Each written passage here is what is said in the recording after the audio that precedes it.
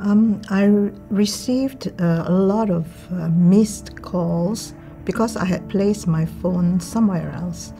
So when I saw those calls, I quickly responded and found out that my husband had missed some very important meetings, which uh, was not his usual self.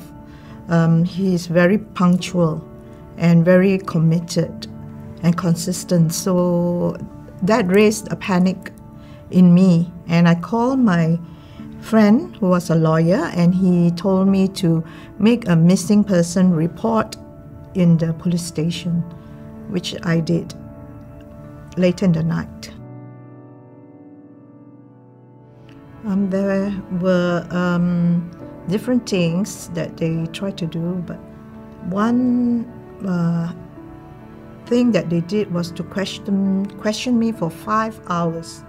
On that night that uh, I reported about Raymond being missing, and uh, that was very traumatic because I was already uh, very traumatized uh, with the you know the fact that my husband was you know abducted uh, and uh, and the subsequent days too they continued to uh, question me uh, and by the strength of the Holy Spirit I was able to exert my right Yeah. to, to emphasize that their job is to look for my husband and not to spend time questioning me. Mm, yeah, it's uh, been uh, a long and difficult journey.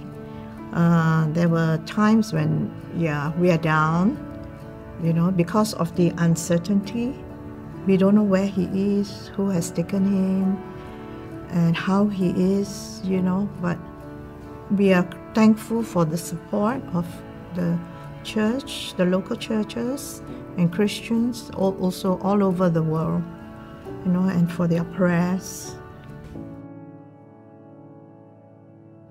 I think the most, yeah, important is prayer and uh, the effective prayer of a righteous man availeth much. And um, yeah, God God will listen to our prayers. And secondly is to put on social media, you know, the the story of Pastor Raymond, uh, because this will keep his me- the memory of him alive. Yeah. It's very very effective.